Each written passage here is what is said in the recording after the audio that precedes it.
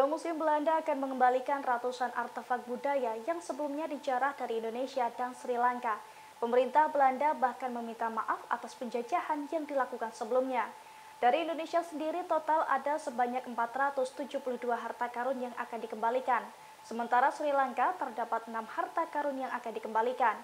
Menurut Guneuslu, Sekretaris Belanda untuk Kebudayaan dan Media di Den Haag, sebagian besar benda-benda tersebut sangat berharga secara budaya. Gunai juga menyebut bahwa pengembalian barang-barang tersebut merupakan momen bersejarah. Pasalnya, ini menjadi pertama kalinya pemerintahan Belanda mengikuti rekomendasi komite, yakni mengembalikan benda-benda yang seharusnya tidak pernah dibawa ke Belanda. Diketahui Gunai mengatakan bahwa keputusan ini diambil setelah mempertimbangkan rekomendasi Komite Penasihat Pengembalian Benda Budaya dari Konteks Kolonial yang ditunjuk pemerintah Belanda pada tahun 2022 lalu.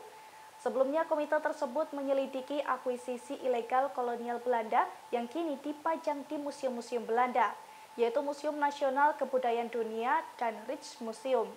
Adapun komite itu dibentuk atas permintaan Indonesia untuk mengembalikan karya seni dan koleksi sejarah alam yang dicuri Belanda. Pengembalian kepemilikan ke Indonesia akan berlangsung di Museum Nasional Etnologi di Leiden, Belanda pada 10 Juli 2023. Sementara pengembalian kepemilikan ke Sri Lanka akan berlangsung akhir tahun 2023 ini.